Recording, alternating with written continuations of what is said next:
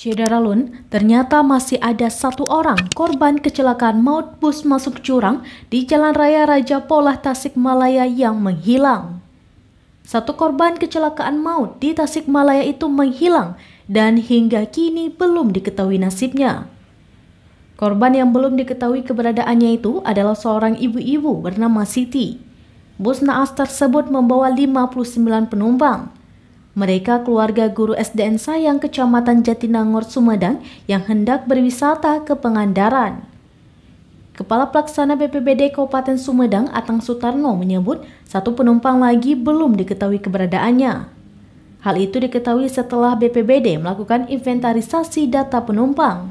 Atang bersama sejumlah anggotanya ikut membantu proses pencarian di sekitar bus jatuh setelah bangkai bus diangkat ke jalan. Hingga tadi malam, upaya pencarian korban masih terus dilakukan dengan menggunakan sejumlah lampu sorot.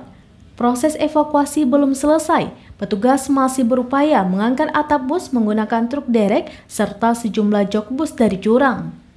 Kapolsek Tasikmalaya Kota AKBP Azhari Kurniawan mengatakan penyebab kecelakaan bus pariwisata di Jalan Raya Raja Polah Kecamatan Tasikmalaya akibat supir mengantuk. là dưới lượng thì nó